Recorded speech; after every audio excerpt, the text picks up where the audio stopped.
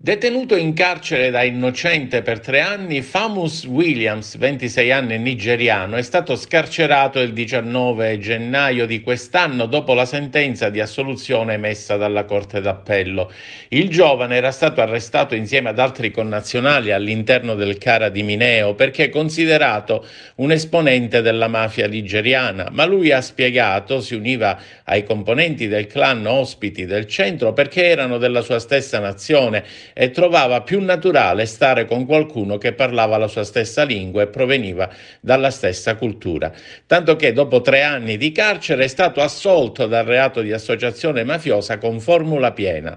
All'epoca della permanenza nel centro di accoglienza catanese si era anche ferito il piede con un pezzo di ferro acuminato. L'infezione al piede nei giorni di permanenza in carcere sarebbe peggiorata di giorno in giorno, tanto che alla fine era stato portato all'ospedale Cannizzaro di Catania dove ha subito l'amputazione della gamba e adesso che è tornato in libertà chiede solo di avere la sua protesi per poter vivere come tutti gli altri giovani della sua età. La protesi per lui è fondamentale per poter riprendere la sua vita in maniera quasi normale, spiega Roberta Butera, dipendente della cooperativa Etnos di Caltanissetta, ed è già pronta, così come ci è stato detto dal centro di Caltanissetta che si occupa della realizzazione, ma aspettiamo l'autorizzazione dell'ASP di Caltagirone. Noi non siamo riusciti a metterci in contatto